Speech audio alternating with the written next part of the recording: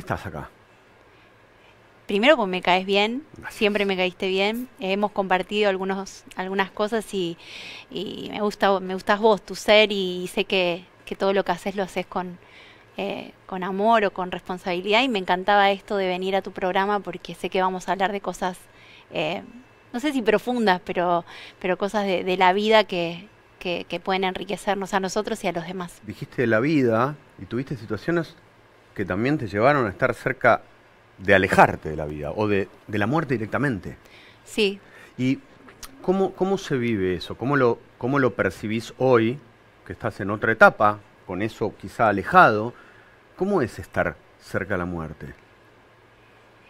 Em, no sé si estoy tan alejado, ¿no? Porque eso que me pasó eh, me dejó como una secuela crónica, la cual me ocupo, la cual eh, pasó a, a ser un punto muy importante en mi vida, entonces es como que está latente todo el tiempo. Eh, pero obviamente aprendí de la experiencia y hoy puedo, como decía antes, por ahí em, capitalizarlo de alguna manera, pero, pero sí tengo la suerte de poder contarlo. Es un trabajo diario, es un proceso largo, el cual cuando te pasa algo muy fuerte es como que pone gris o oscura toda tu vida y, de repente eh, ves todo tu mundo desde esa óptica. Entonces, eh, sí hubo un trabajo de, ir al interior, de, de buscar, eh, de buscar ahí adentro, de bucear ahí adentro y empezar a, ver luz en eso malo que me había pasado y poder decir, bueno, esto que me pasó eh, es una condición en mi vida, pero, pero no me determina, ¿no? Todo lo que soy o todo lo que hago, todo lo que quiero vivir, porque hoy elijo, decido eh, vivir con alegría, decido ser feliz, pero es una decisión de todos los días,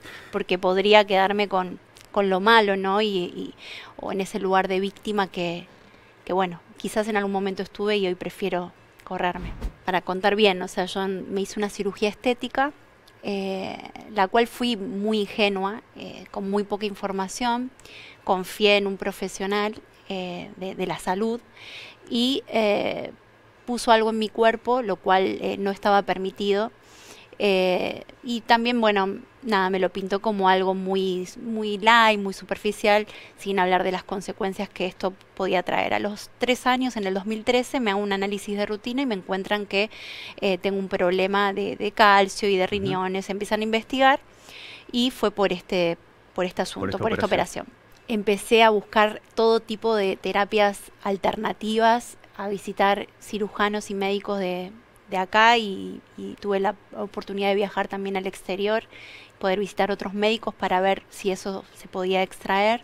Lamentablemente hasta hoy no, pero yo siempre sigo confiada y sigo como esperanzada de que aparezca la mejor medicina o el mejor cirujano y sé que, eso va a suceder. Sí hubo enojo, enojo conmigo de, por qué me sometí a eso, qué, buscaba, por qué buscaba eso, esa seguridad en, en, en lo externo, ¿no? pero bueno, no tenía muy claro dónde, dónde estaba parada en ese momento, no tenía una conciencia de, de mí, de mi ser y de, y, de, y de la salud también, ¿no? Esto que hablamos, porque no nos damos cuenta hasta que la perdemos y, y eso fue muy, o sea, fue un, antes y un después en mi vida. En algún punto, no digo que, que la cirugía estética no sirva, porque es una rama de la medicina, ¿no? Por algo está. Sí o sea, es para que la gente tenga un bienestar físico y también emocional, porque a mucha gente le cambia la vida. Eh, pero bueno, en este caso eh, me topé con una persona que, que bueno, que sacrificó la, ética que debe tener un médico por la estética. Pero estos últimos dos años te podría decir que, fui como un poco más a fondo eh, a aceptar, a perdonar y a querer vivir en emociones buenas. o sea, yo, si bien estoy en un juicio, yo presenté todo lo que tuve que presentar ahí, pero si vos me decís, eh, lo odias, viste, querés que...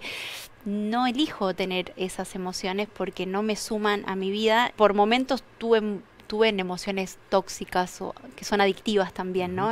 tanto en relaciones o en la relación conmigo misma. Y creo que todo el proceso que fui haciendo y que sigo haciendo tienen que ver con eso, ¿no? Con la autoaceptación, con el amor propio, con, con el cuidado, con el cuidado de uno.